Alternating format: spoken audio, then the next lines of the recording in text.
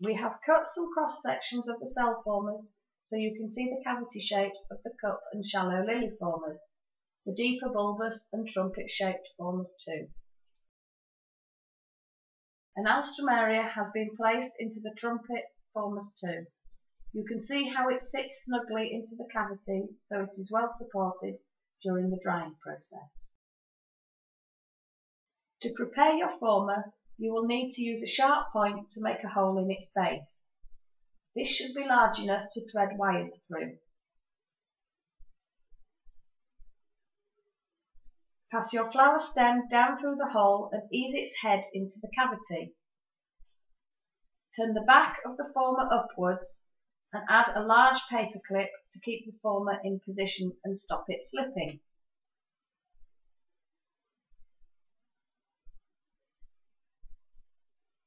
Use a pair of pliers to bend the wire and sit the flower to one side to dry.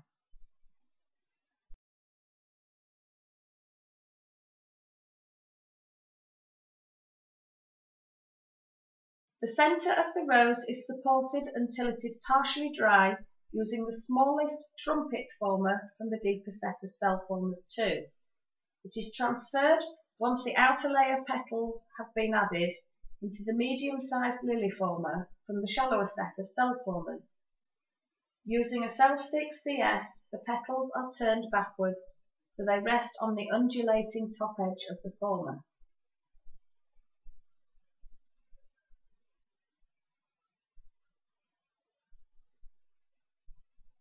Adjust the petals where necessary to give a natural appearance to the flower.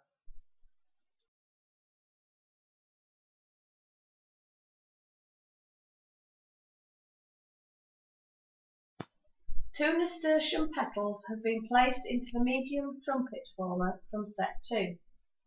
Insert a third petal down into the cavity and feed the wire through the hole in the base. Support the petal against the polystyrene and bend the wire to insert it into the bottom of the former so the petal rests in place against the side of the cavity. The tip bent over the edge therefore taking the shape of the undulation. Add the extra petals.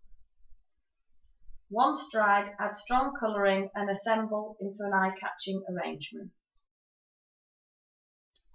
Don't forget that you can not only use the former cavities to hold flowers during the drying process, but can also use the flat area at the back for support.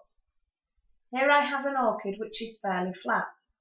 Small pieces of foam have been cut and placed with tweezers beneath the petals to give extra lift.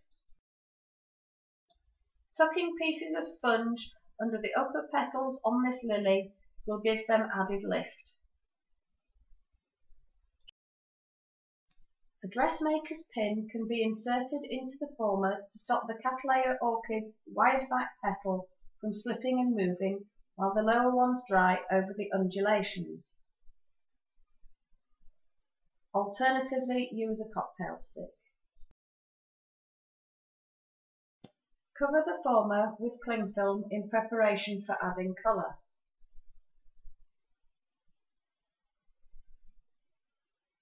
Insert the flower through the film and feed down into the former.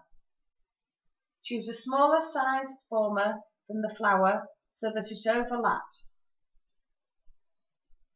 Gather in the edges of the film and twist tightly around the wire and secure using a large paper clip.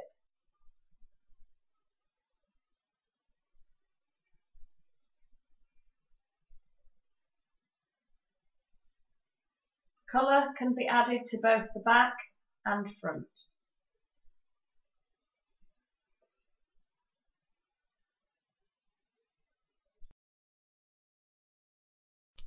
The smallest of the shallower lily formers has been used to support a daffodil while it is painted. Using a combination of dusting powder mixed with a tiny amount of vegetable fat will minimize any colour migration. However, if you look closely you can see that some of the colour has missed the petal but thankfully will not stain the former since the film can be disposed of after the paint has dried. There are likely to be fewer breakages during painting fragile flowers using this method.